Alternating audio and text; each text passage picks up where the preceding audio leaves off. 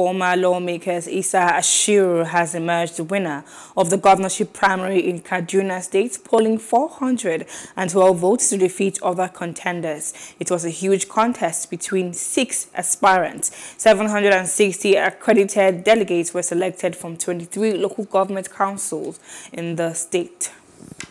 Those are as follows.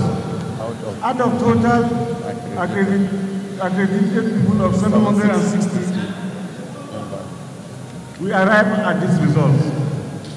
Invalid, 30 votes. Alaji Mukhtar Ramalan Yero, 28 votes. Senators Shehu Sani, 2 votes. Haruna Said, 11 votes. Madam Sani Sidi, 260 votes. Barrister Sani Abbas, 15 votes. Honorable Isa Hashiru, 400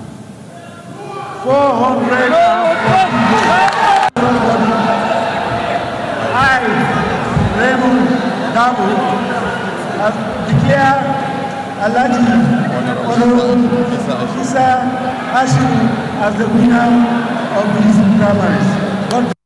Our collective genuine desire for the rescue of our state from the misrule of the APC, which has caused untold hardship to the people of the state as evident in the terrible insecurity, joblessness, and the resultant extreme poverty should continuously motivate all of us to work for the success of our party during the next general election.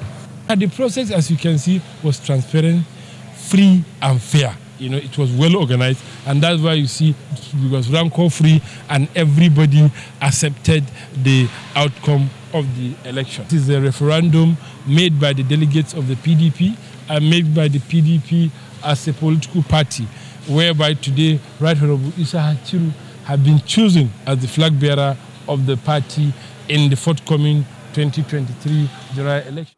Please do subscribe to our YouTube channel and don't forget to hit the notification button so you get notified about fresh news updates.